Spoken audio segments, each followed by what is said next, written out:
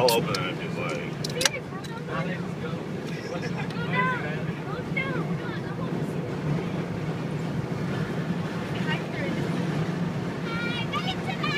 I'm not gonna get in the hall.